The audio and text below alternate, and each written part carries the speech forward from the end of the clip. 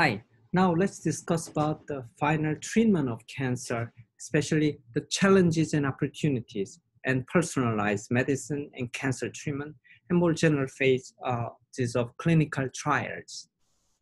So what are the challenges and opportunities in cancer therapy?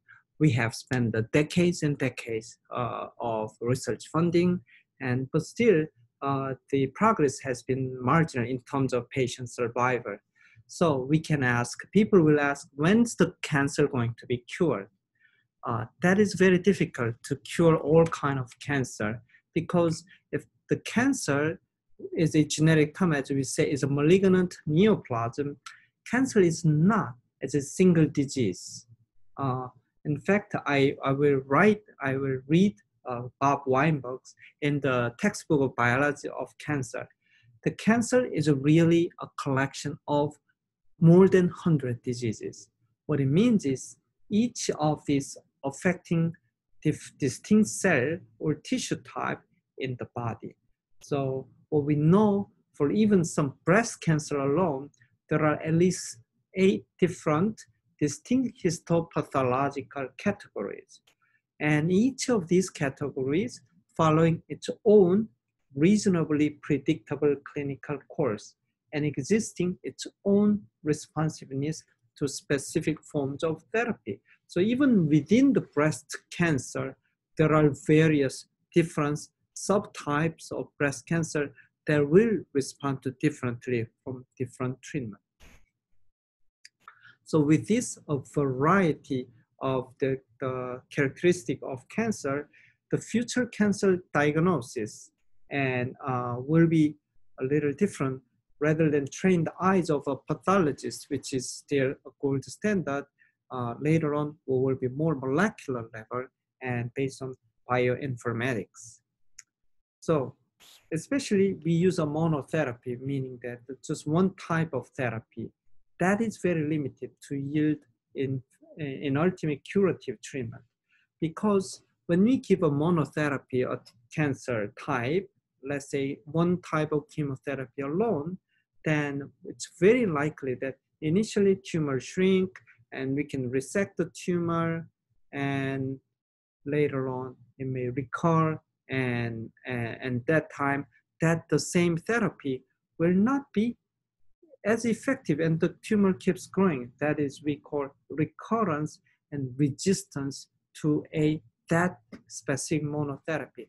The reason is the genome of cancer cells are usually not stable.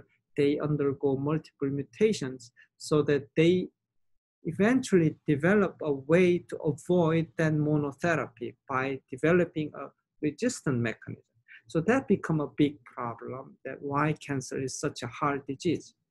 And we also call that as a genetic plasticity of the tumor cell populations, which is very heterogeneous. If the single uniform, then we can use one single monotherapy to kill all the cancer cells, but that's not the reality. And so that gives us a logic of multi-drug therapy that because certain cancer cell phenotypes can be achieved through combined action for several genetic or epigenetic alterations. So we come up with a a combination therapy, if there's multiple uh, mechanisms in, involved in the cancer, that may give us a better chance to shrink the tumor and treatment. So not that long time ago, we also discovered that there may exist stem-like cells in even cancer cell population. And that poses a, a bigger problem for tumor treatment because um, our anti-cancer drug development try to kill majority of the tumor cell. However, what if there's a very resistant, a strong cancer stem cell? So then that stem cell, you know, remember that the, the characteristics of stem cell that are also limited uh, proliferative potential. So even if the majority of tumor mass is gone, that cancer stem cells still uh, survive and repopulate and recultivate. That is a problem. So if we know cancer stem cell well enough, then maybe our focus should direct to target that cancer stem cells. And um, important uh, ways of developing treatment is our study with the preclinical, meaning that not with the human, but with uh, laboratory animals uh, to develop a model which will mimic the clinic well enough. So this is very important. because this is more controllable. So we develop predictive preclinical models of human cancer. One example is we study human tumor uh, implanting into, let's say, animals, uh, uh a rodent, mice, and the problem is it's a different species, so we sometimes use a mouse with a lacking immune system, such as a nude mice, uh, so that we, our human tumors can grow in the mouse. We can uh, treat them with various ways to test this preclinical model, which we hope to uh, mimic the human conditions. And another difficult challenges are, in fact, we discussed before that you know the, within the tumor there are not only cancer cells there's non-neoplastic stromal cells so-called tumor stromal cells which in, contains uh, fibroblast immune cells blood vessel cells a, uh, even uh, lymphatic vessel cells. So these uh, also the interaction between cancer cells and these stromal cells are becoming also important to understand what's going on. Um, so this will also determine the responsive responsiveness to most drug therapies as well. So let me give you an example that what if if we uh, give a monoclonal antibody which will block uh, angiogenesis and which is secreted by tumor cells and killing the tumor. And what if the uh, neighboring host stromal cells also secrete angiogenic factors, which is different. Then the angiogenesis will keep happening even if we give an anti-angiogenic drug to tumor. So this can happen, and we need to understand the uh, intricate interactions of the tumor and the interaction with the stromal cells uh, within this tumor microenvironment. And uh, an emerging concept is so-called personalized molecular medicine at an affordable cost in which the detailed characteristics of each patient's tumor and genetic constitution can inform the design of a customizable therapy.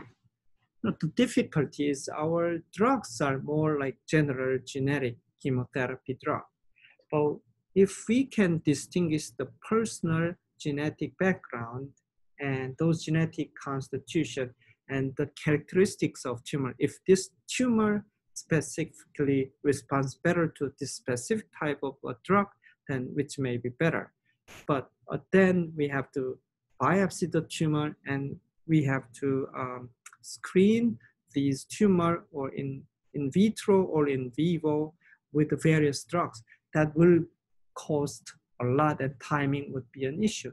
But with the more advanced uh, whole genome sequencing, I think we are at the era of knowing more personalized tumor characterization and so that it can lead to personalized molecular medicine.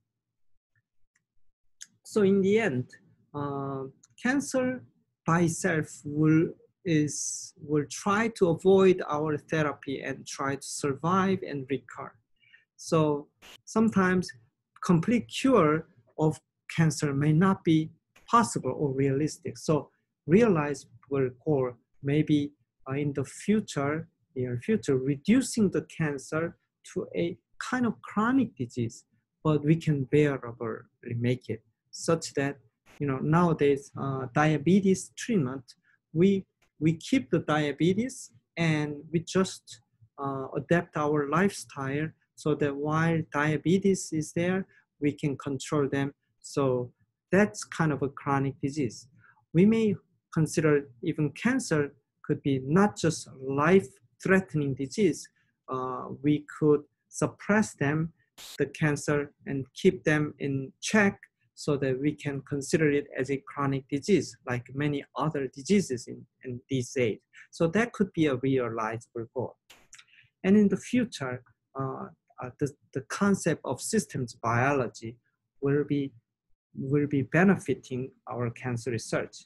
So what the, the systems biology means we uh, introduce more quantitative and engineering uh, point of view of understanding the biology of cancer and that biological responses of various human cells, normal cells and malignant cells, and that can be predictable by our mathematical models of these cells and their internal uh, signaling pathway circuitries. So if we know well enough and quantitatively map out the circuitry of the cell survival or proliferation and cancerous state well enough, then we can actually come up with a better treatment and uh, better ways of uh, uh, keeping the tumors in check. So that's our hope. And so, in the end, we will ask, why is it so difficult to treat the cancer? Because cancer cells are also part of our cells. So just distinguishing cancer cell from normal cell can be very challenging. So um, to taking advantages of those differences between cancer cells and normal cells, uh, we know some genetic differences and maybe some differences are more specific to the subtype of the cancer, uh, even to individual person. So for example, genetic is like rapidly growing uh, growth is a uh, genetic feature of the cancer. The problem is our some of the normal cell types are also growing and proliferating. That is gives a side effect of uh, chemotherapy. While for example, let's say there's a breast cancer, if we know more detailed of subtype, such as HER2, human epidermal growth factor receptor 2 positive breast cancer, which was actually giving a poor prognosis in the past. Now, after all, we give a, a treatment which is specific to HER2 receptor, which may even effective for those subset of HER2 positive breast cancer patient that they can even live longer with this uh, targeted therapy drug. So genetic treatment is, we know cancer starts from one cell in one place and that will grow as a, a tumor, then we can use uh, surgery. But it's better, as we saw from before, the prognosis and staging are only detection methods. So where we can find out this uh, cancerous growth early enough stage, the five-year survival rate can be very high. While we know that cancer cells divide faster than normal cells, using that characteristic, we use radiation to, um, to disrupt the DNA so that the killing those rapidly growing cells and chemotherapy. But these are more generic treatments. The future treatment will involve less side effects uh, and more specific, uh, which is already uh, done these days, hormonal responsiveness, some specific type of prostate cancer and breast cancer if the cancer cells are, growth is uh, dependent on specific type of hormone, then we can block the action of the hormone effect on the cancer to, to modulate the cancer growth. And some other specific type of cancer is uh, thyroid cancer, which is uh, coming from the thyroid. And in this case, uh, we can use the thyroid uh, usually uptake uh, iodine specifically, and iodine is not goes to the other. So we can come up with iodine with a radioactive element. Then that injection of iodine intake will accumulate in the thyroid, and that gives a, a radiation, uh, local radiation therapy itself. So that it can be a specific treatment. And of course, uh, if we find the type of cancer cells uh, and the specific growth factor receptor, then we can target those receptor with a very specific monoclonal antibody. The problem is these drugs will be very expensive, but very specific. So supposedly involving less uh, toxic side effects. So lastly, I want to discuss about like a phase of clinical trials because uh, the new drug for uh, generation discovery is important in this business.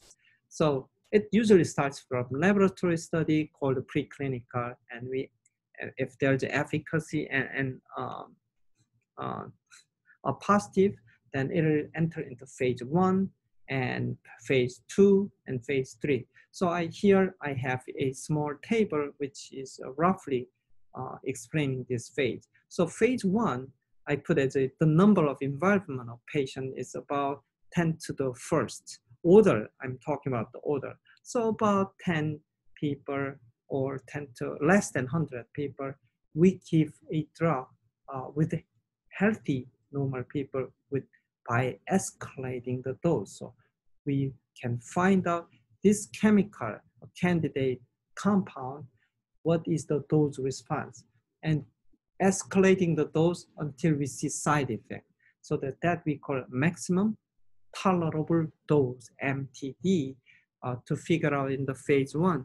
We don't care about whether the drug is effective for the disease. No, we just with the normal people, uh, normal volunteers, we increase the dose and just to see when is the drug can be tolerated. So maximum dose can be determined. And the phase two is 10 to the second order, so several hundred people. Now we are more interested in uh, drug safety and potentially drug has some effect. Okay, and afterwards this uh, will enter into a third phase. Phase three means now thousands of people. So this will cost a lot. Now we want to really see the efficacy, the effectiveness of drug onto this specific type of a disease, this cancer. And now we can have a comparative efficacy. So whether this drug can be comparative to the existing drug, then the FDA or US FDA, Food and Drug Administration, will approve the selling of the drug. So now after this phase three, the drug will be on the market and still we have to check whether there's any remained issues that we call as phase four, which is post-approval. And we want to see a long-term efficacy and uh, potential safety issue which was neglected or uh, overlooked or didn't come up, uh, show up uh, from previous phases. So here is the summary of clinical trial from Wikipedia. You can take a look at this. I just point out there is a phase zero, uh, which I didn't talk about it, is about pharmacokinetics of the drug, oral bioavailability, and half-life of the drug. So these pharmacokinetic aspects can be studied, uh, which is also very important uh, later on. And also, at the last, I have a drug discovery process here. Uh, the process of discovering, testing, and gaining approval for selling a drug is long, long, and very, very difficult job. So there are like four phases here, research and development, preclinical, clinical trials, and review and approval. So you look at this, it takes almost a decade or even longer time for one single drug to be on the market and will uh, uh, make an impact for patient care. So the research and development, you can see target identification. There are many, many compounds, up to uh, 10,000 compounds will be screened and we will find out uh, lead identification, which is uh, becoming the best uh, chosen one.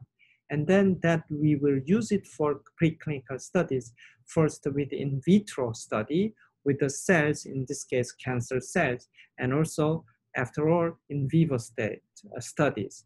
And uh, you see, to be um, approved for clinical trial, minimum two mammalian species is necessary. Even two mammals and one non-rodent means a typical laboratory rodent such as mice or rats study is not enough.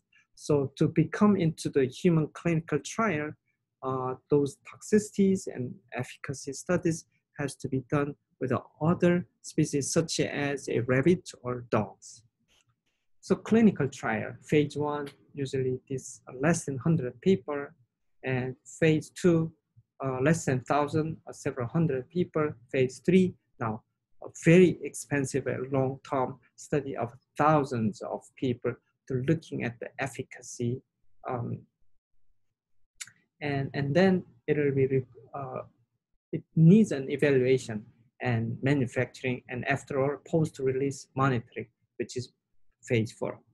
And I hope this will give you a broad idea of how drugs will be developed and uh, uh, being effective to treat our patient care.